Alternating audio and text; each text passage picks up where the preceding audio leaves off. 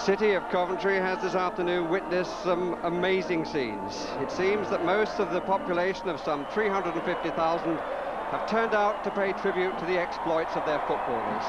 Winners yesterday of the FA Cup, their first major trophy in their history of 104 years. Here is the team arriving at the end of a six and a half mile journey as they come in down High Street towards the old and the new council offices, towards what is known as Speaker's Corner. And really, in their wildest imagination, the players could not have expected the sort of reception they've been given. If ever there was proof of the effect of football on the human spirit, this afternoon has certainly provided it. People of all ages and from every possible vantage point have come to cheer their heroes and to say thank you. Because there can be no question that the exploits yesterday at Wembley have lifted thousands in the city of Coventry. Nick Pickering there with the cup, Cyril Regis with the special hat that uh, shows the Twin Towers of Wembley. There it is again. Dave Bennett holding the cup, Trevor Peake. And as we look back down High Street towards Broadgate, let's go back to the journey which started some three hours ago when the team arrived at their hotel by the M6.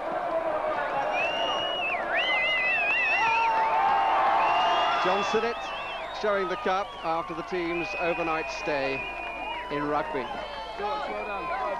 George, 104 years. Now the cup. How are you looking forward to the uh, trip to the city? Good, really looking forward to it.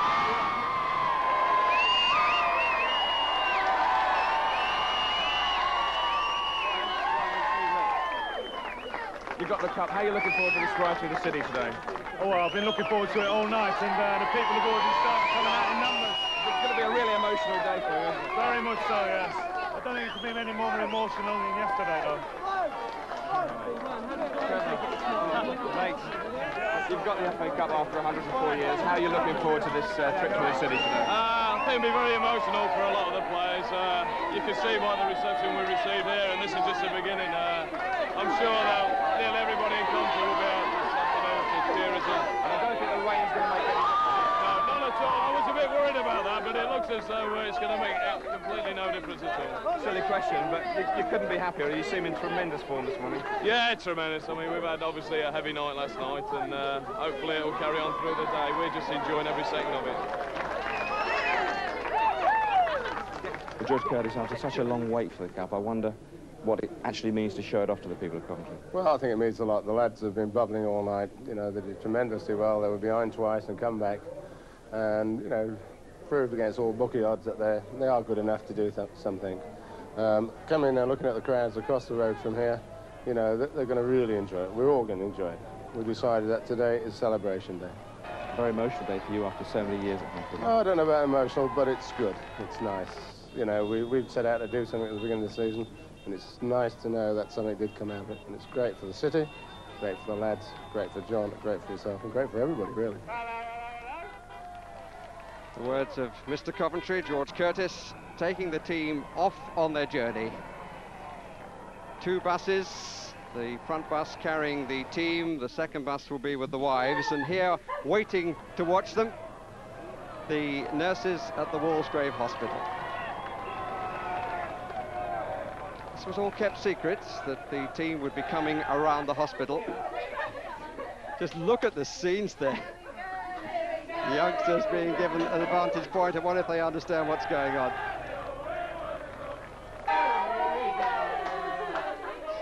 This is the hospital, incidentally, where the Angels series was shot. BBC One series. And the nurses look pretty enough to take part.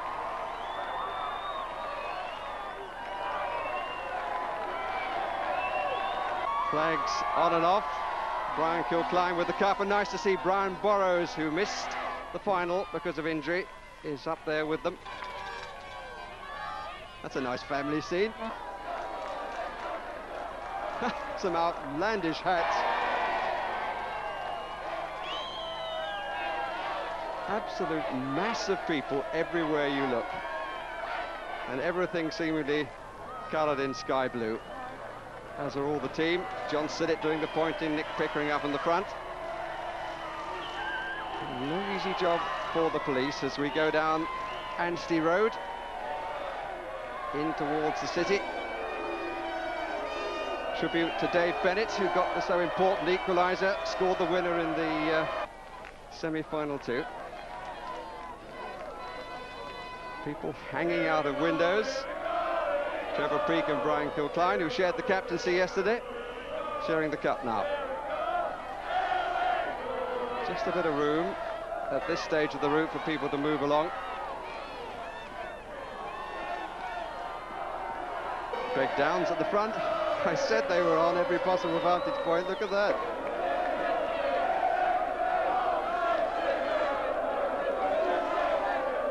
Steve Sedgley.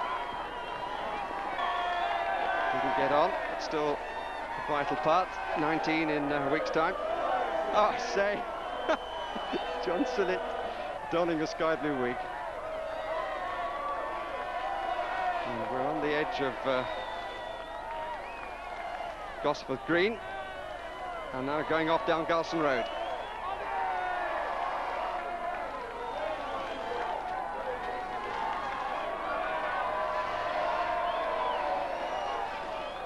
Teddy Bear has pride of place. Steve Ogrizovic now holding the cup.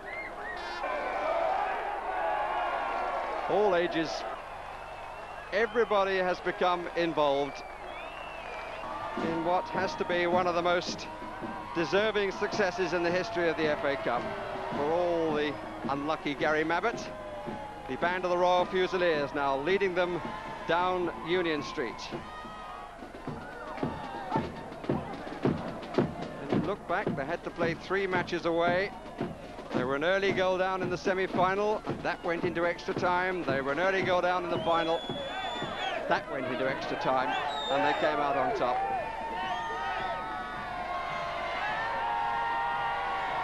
Church of St John the Baptist. His religion seems to be totally football.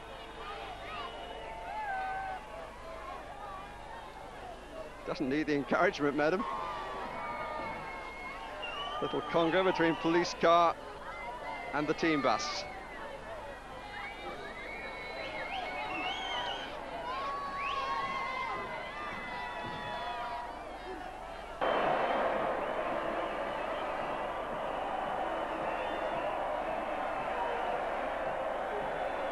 Mass crowds everywhere you look and the bus finding it extremely difficult to make its way through but the players in no hurry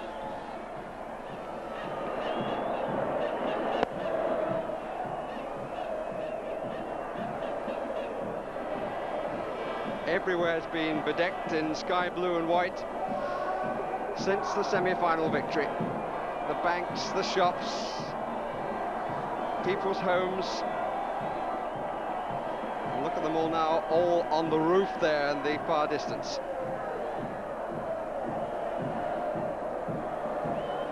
Many determined to follow.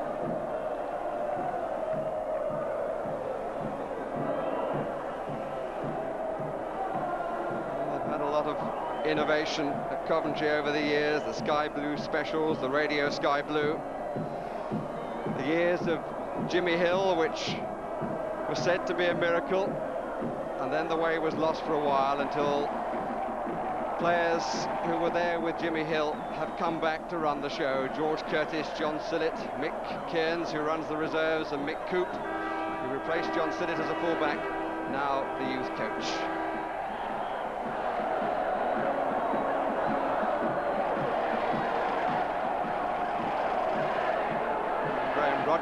There did so well when he came on. David Phillips now holding the cup. Brian Kilcline, who had to be helped up with crutches to get onto the bus. In the front seat or the front stand.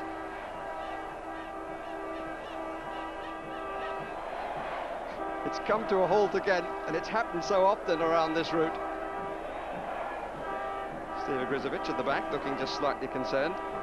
George Curtis in the far corner. Trevor Peake, Mickey Gynn. Ian Painter there too, one of the unlucky ones who didn't make the final team. But it's all about club spirit, isn't it?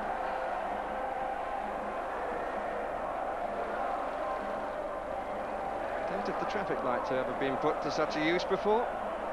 Indeed, has there been a journey ever through the city of Coventry like this?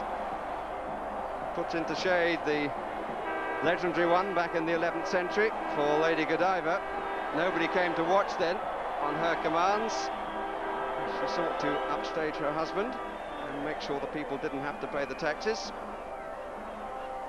She said nobody should go because she wished to hide her modesty. And legend has it that one peeping Tom was struck blind. Peeping Toms from every vantage point this afternoon to look at the footballers of 1987. Dave Bennett, Benno with the nice straw hat. Preparing perhaps for a calypso. The directors at the back,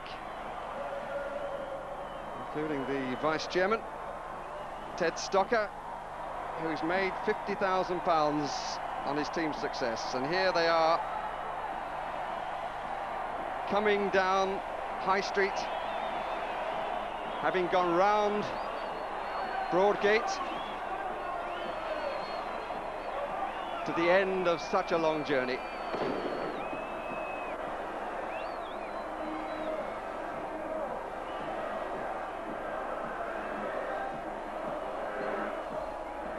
They will be on that balcony eventually when they can get off the bus.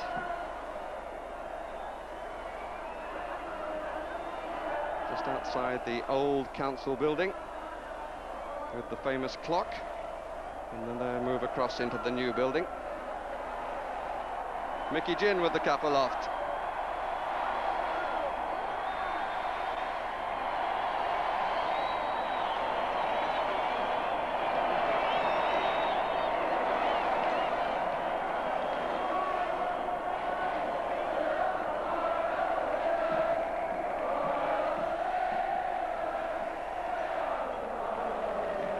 Somewhere down in the crowd is Steve Lee, if he can make his way forward. I hope he'll be talking to one or two of the heroes later. Nick Pickering. Must say, I think that hat takes the biscuit. Cyril Regis. Haven't really been able to pick out the particular streets because the bus has been like a raft in the middle of an ocean, an ocean of massed ranks of Coventry City people.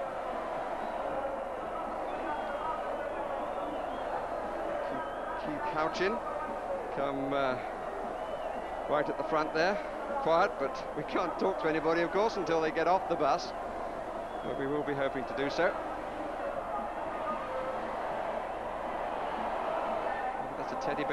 Rabbit inside the cup. Certainly there were no Coventry City rabbits 24 hours ago. It was a marvellous comeback to a fine final. And there's the old Coventry song going up in the background, the Eton boating song originally.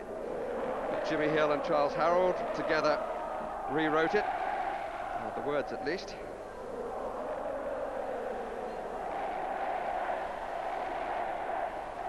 Have you ever seen so many flags in your life? Patriotic British in the middle, the Union Jack. And John Sillett milking every last second. Really has emerged as a considerable character during this competition City success. He and George Curtis appointed a year ago today.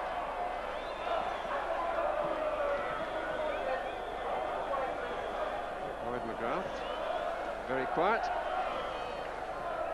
What an effective job he did on Glenn Hoddle, Sport Hoddle's last performance for Tottenham.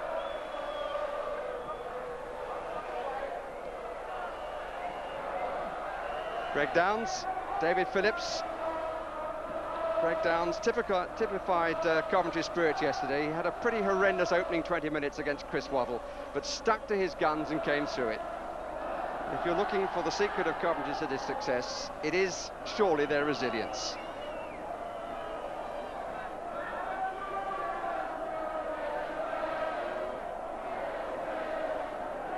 And still no attempt to get off the bus because there just is no way through. I think the bus has got to move a little bit further forward yet.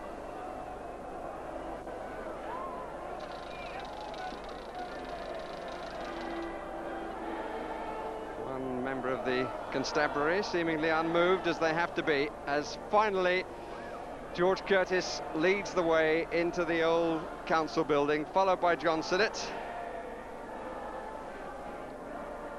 Members of the board going through.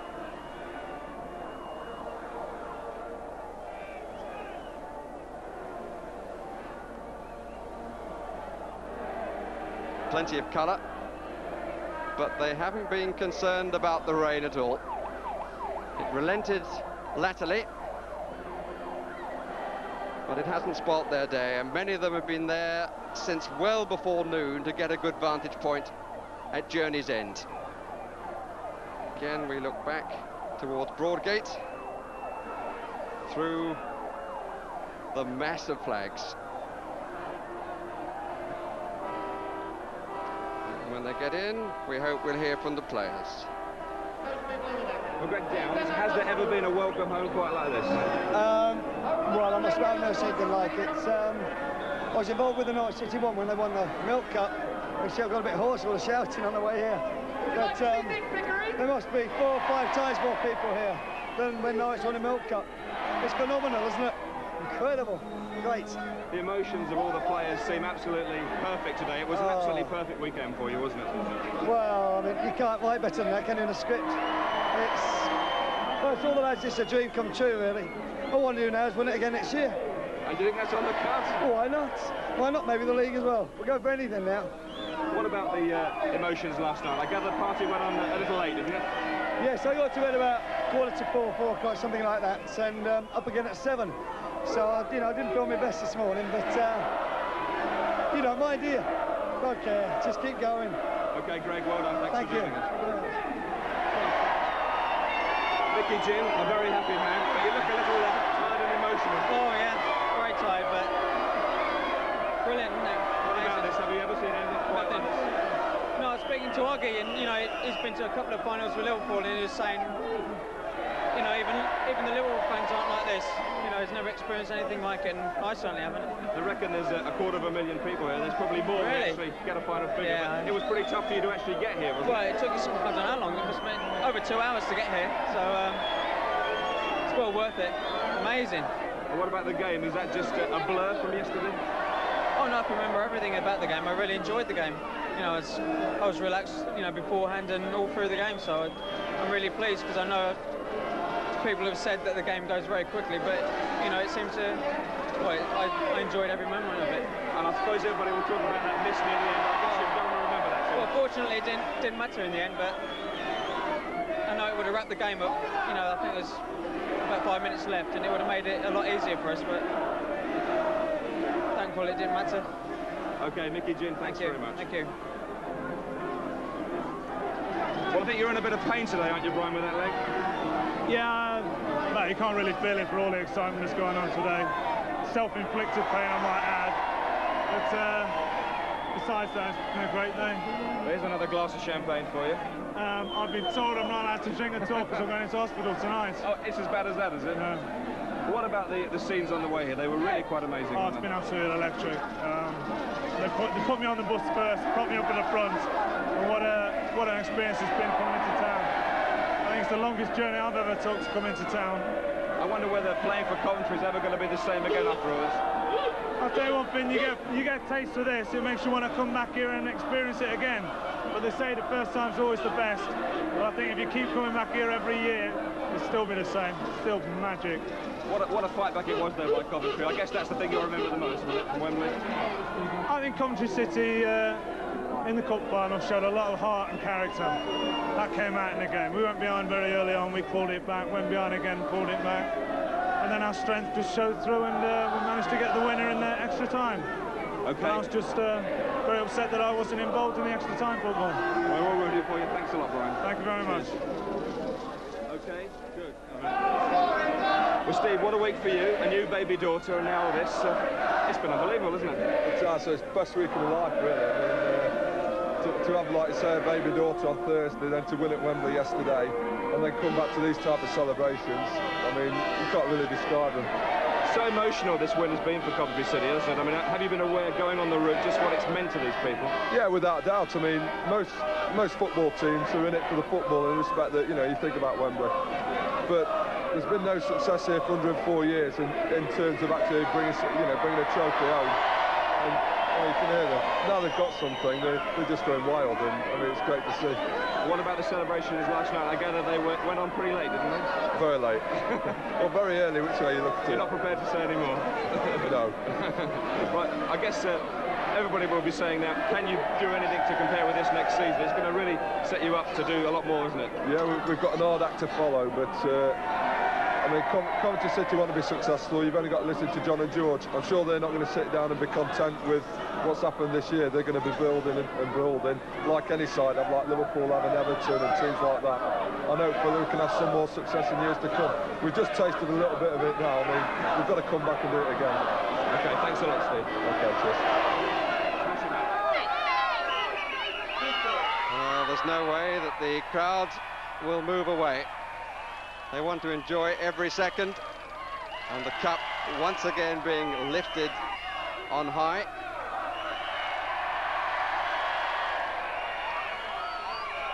Coventry City, the 41st winners of the FA Cup. Nick Pickering in the middle, Steve Ogrizovic back on the balcony with his glass of champagne. A year ago, he was a player with Scunthorpe. And I think there were going to be, there will be many curtain calls, to use a theatrical expression. John Sillett. And a few words now from George Curtis, the managing director.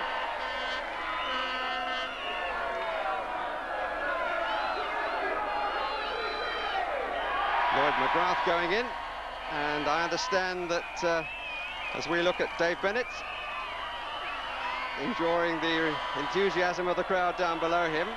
I know that uh, among those that uh, Steve Lee has with him is the man who a few moments ago I said uh, had earned himself £50,000 by putting a thousand pounds on Coventry City at 50 to 1 back in round three when they beat Bolton. Cyril Regis with a few words. Well, let's hear a few words now from Ted Stocker. Have we got the go-ahead yet, Steve? Well, Ted Stocker, I guess uh, that overnight bet of uh, a thousand pounds on Coventry City at 50 to 1 looks uh, very rosy indeed this morning, doesn't it? Oh yes, it looks very rosy indeed. But we won the cup and look at this, it's fantastic. The whole of Coventry, it's taken us two and a half hours to get here. Oh, just can't comprehend it. It's absolutely terrific, absolutely terrific. So you're going to be honest and say you haven't thought about the money too much, is that right? Well, I mean, as you know, since yesterday, we've been on the bounce all the time. We had a party last night, and really, it's one of those things that you're going to sit down sometime and think about what you're going to do with it. It's such an enormous amount of money that uh, first thing I'm going to do is uh, pay off what my wife spent in Harrods last week buying a new outfit to come up here today. It was as expensive as that, was it? Eh? It was expensive. Well, it made a reasonable sized chunk in it anyway, yeah. Right, From the director's point of view, what about next season? I guess everybody's going to wonder what plans you might have. Our plans are to improve the facilities at the ground. We're going to do a lot of work in the um, a lot of work in the summer, I, I would imagine that George and John will start thinking about what they need to do with the team. But we've got a wonderful team, really wonderful team. Thanks very much, Ted. Thank you. Well, the vice chairman uh, making it clear, really, in a way, that the standards have been set for Coventry City to follow what they achieved yesterday. And with the sort of team spirit they showed at Wembley, why shouldn't they? I thought also it was interesting when he said it's so difficult to comprehend. And I imagine that for those for whom sport is something to be ignored or just a pastime to keep fit, maybe very difficult to understand these scenes that we're seeing. But the people of the city have been warmed and uplifted by a collection of young men who just kick a football around. The elephant, which is part of the badge, the insignia of Coventry City. And a cup in the background, and everybody wants to make it known that they were here on the greatest day in the history of Coventry City Football Club. And some may say maybe of the city itself, a city which during the war suffered so much. Behind that building of the council lie the ruins of the old Cathedral of St Michael,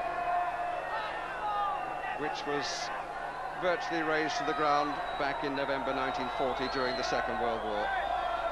But Coventry was rebuilt, a new cathedral was built, the new council houses house that we just saw was rebuilt. And then the emphasis that we're seeing in front of us, the evidence that we're looking at, certainly the spirit has been rebuilt too. But uh, I know that we can uh, go to an interview with John Sillett.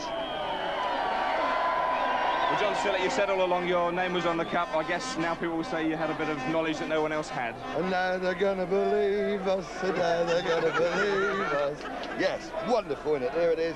A bit of silver we've worked so hard for. The lads have been brilliant. I reckon a quarter of a million people have come out to watch you. It's been certainly one of the most emotional homecomings ever for football. Well, what the players have done for Coventry City, look what they've done for the people, the public. You know, they've done wonders for them. And I think that they are paying a wonderful respect to the players. And we think this has really got us all emotional, all uptight, and we just don't know. Our next act to beat this, we just don't know what it can be. I guess the only thing you can do really is go away quietly in a couple of days and try and take it all in, really. No, the thing we've got to do now, Steve, is build on this and win the First Division Championship. That would be when I would be able to say, thank you, Coventry. I think I've helped a little bit. I'm going to go and retire now. The next season should be one to remember. Yes, yeah, we'll be all right next season. They all know we're about now, Steve. What a final it was, really. I guess from a football point of view, it presented those at Wembley and all the millions watching with a game they'll always remember. Well, you know, I've said all along, if we're going to play football, we'll play it with style. If we're going to win, we'll win with a bit of class and style and touch. And I think we've done it that way. And what about Spurs? In a sense, did you have just a few thoughts of uh, disappointment for them? Too? Oh, you know, you gear yourself for their position. I'd geared myself for losing. You know, you've got to, I think. And you just accept this little thing here and say, well, that's a bonus. You know, to, but David Pleat, his players, all, all the Spurs fans, gave us nothing but credit, and I thought they were a credit to football. Right, John, we'll let you go and get some more champagne. From us all, very well done indeed. Stephen, thank you. And lift that cup up and let's have a look at it. Hold on. We'll get that Coventry name on. There it is. I'll spill my champagne. There you are. How about that? Wonderful, isn't it? I'm just going to go and show it to those good people there. Fill that for me. I'm going to nip there. Coventry's name on the cup after 104 years. And as you can see, the crowd some of them moving away, but some hoping for another view of these successful players. John Sillett there with a message for football, and indeed a message for sport in general, that it's not all about winning, it's about winning with style, and certainly they did that, and they did it the hard way. Indeed, I saw one or two uh, T-shirts yesterday which referred to the Coventry Tour, and understandably, because it all began at Highfield Road against Bolton, but then it was away at Old Trafford, away at the Victoria Ground Stoke, and away at Hillsborough in the sixth round, and then away, obviously, once again, back at Hillsborough in the semi-final. And they borrowed this chant from elsewhere, you'll never walk alone.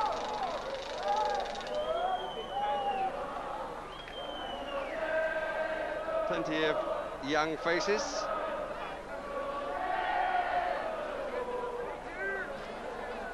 And it's a proud moment, I'm sure, for Councillor Mrs. Winnie Lakin, the Lord Mayor, and the Lady Mayoress, her daughter, Mrs. Shirley Bosey, and control changes in the City Hall next Thursday because taking over will be Councillor Jeff White and he's got quite an active on it. Certainly the uh, year of Mrs. Winnie Lakin couldn't have finished on a higher note. And she, like everybody who's watching these pictures, must have great delights in what a football match has done to this city.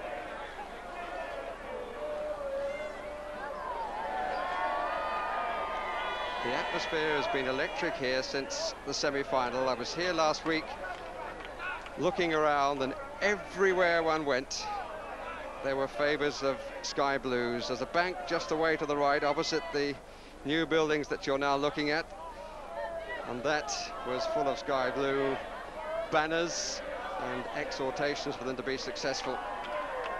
I wonder how many of these people managed to get a ticket. They were disappointed yesterday. They're certainly delighted today. The outsiders, even in the final, have got three to one on Coventry City winning. But win they did.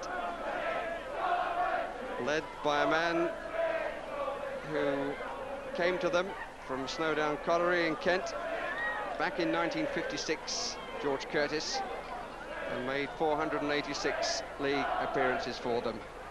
By John Sillett, played for them between 1961 and 1965, was then sold to Plymouth Argyle for £5,000.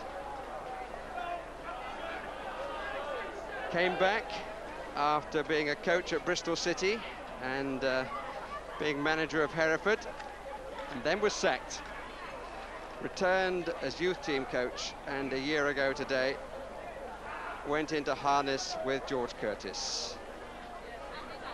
And we can now talk, I understand, to another of the players, Steve Lee, talking to Keith Houchen, one of the scorers yesterday. Well, Keith Houchen, Keith Houchen, alias Roy of the Rovers. That was a pretty good end to the script, wasn't it, yesterday? Alias Roy Race, yes. I went out on the perfect note again yesterday, didn't I?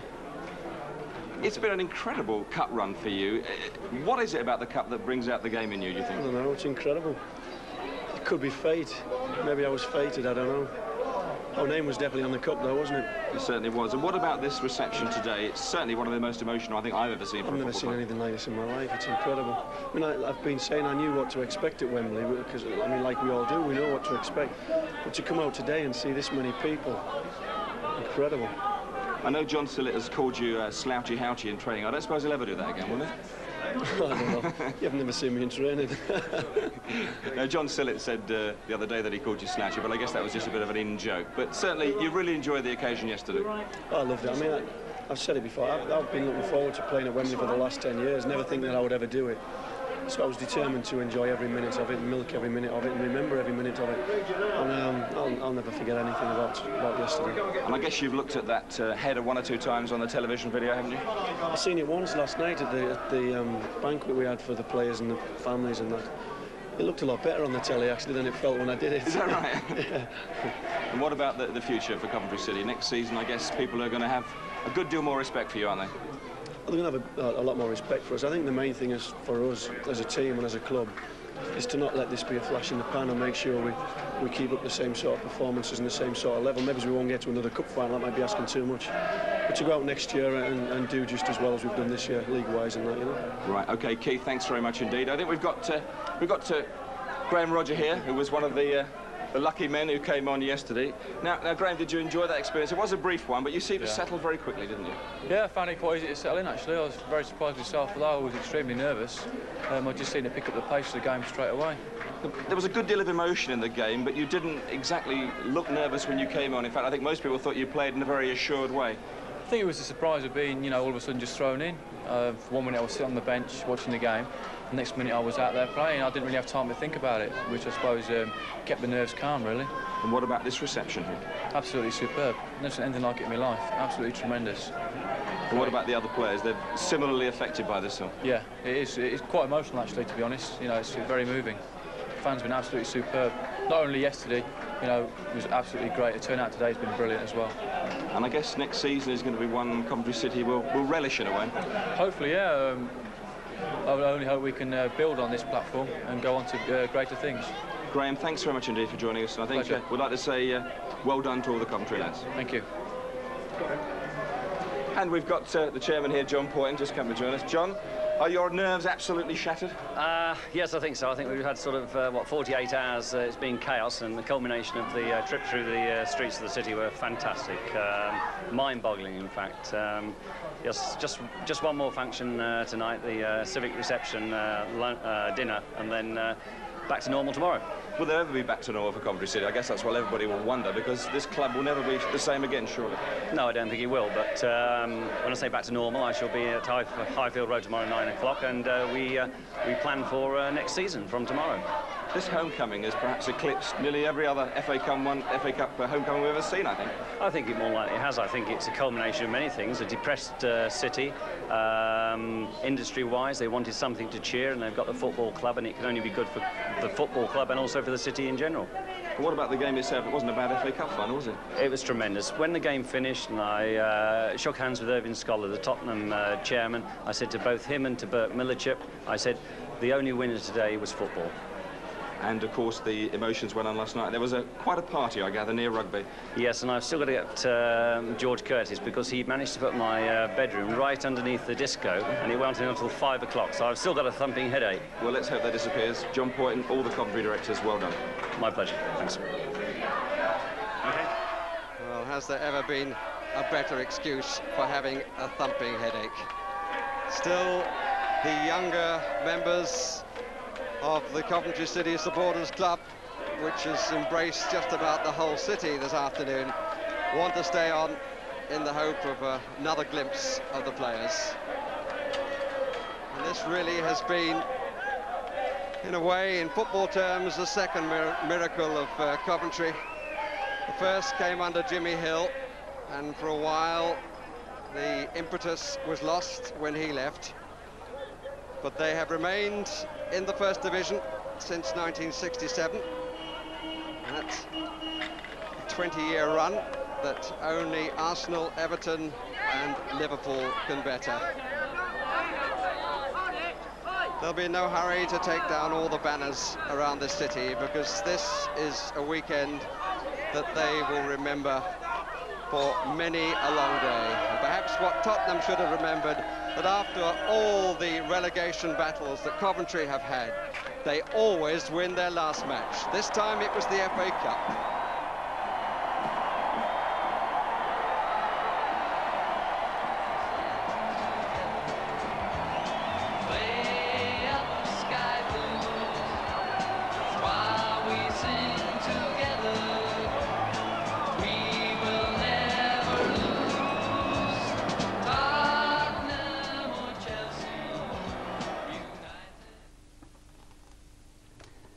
Scenes in Coventry there, and just a reminder there'll be a chance to see highlights of the Sky Blues victorious weekend in Midlands today at 6.35 tomorrow.